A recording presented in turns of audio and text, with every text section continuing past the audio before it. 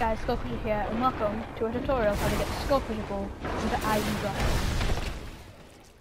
You're going to have to shoot this arrowhead off of the wall through the ceiling next to double tap 2.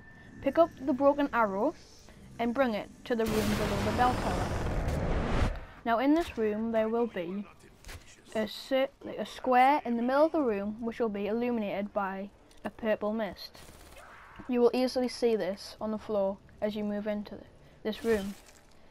You need to knife a zombie on this square and it will bust open and give you a pot as you can see here.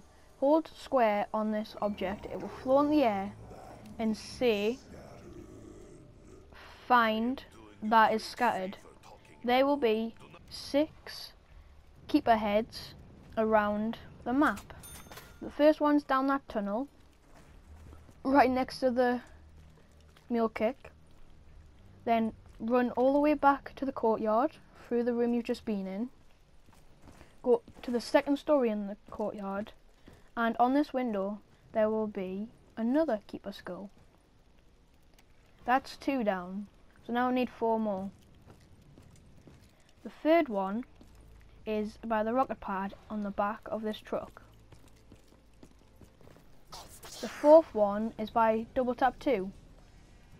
If you look up in this corner, you will easily see this one.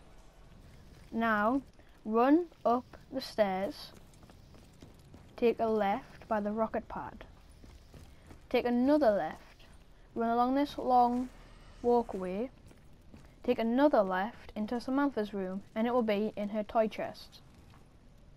Now you have found all six skulls there will be a pattern on the floor and the skulls will be in these circles on the floor.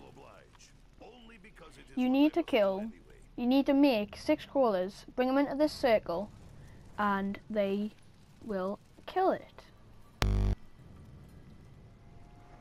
As you can see here, we're going to make some crawlers and the skulls right around the heads and kill the crawlers. Now that's three souls. You need six in total. So here are some more crawlers. And now they're dead. You're going to hear him say some words, but you don't really bother about that.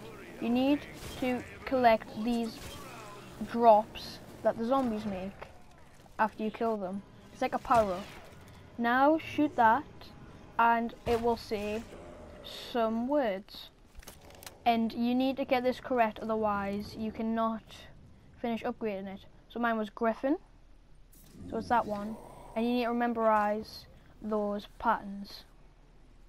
If you come over here, this one's the stag, and in my gameplay this one's the circle. And the last one was heart, and the heart is right here. One second, right, the heart is right here. So hold square on that. And it looks like the rib cage, which I call it. Now, what you need to do is go back into the room and the patterns will be on the floor that you collected. And in that order, you need to find out which one you need to shoot with your bow to get the upgraded one. So in our gameplay, it was the triangles. The next one was the circle.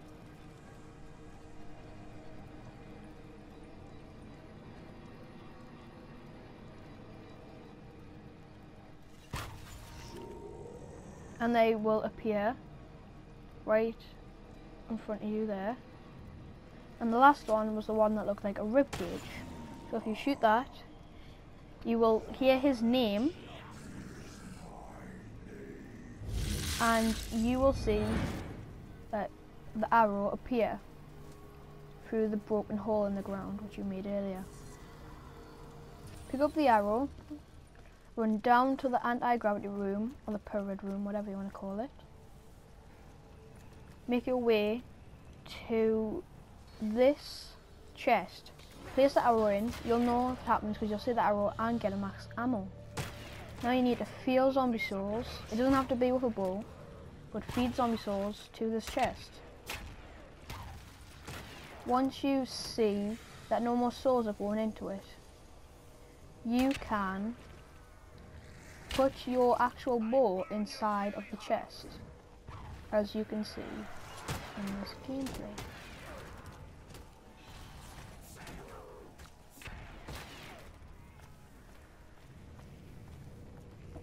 You put the bow in, it will take around 5 to 10 seconds until you can actually collect the bow. So you can't collect bow then, but when you go back, you can. So now you've got the bow, you can hold it in and open this void, and it will send the Keeper's Souls out.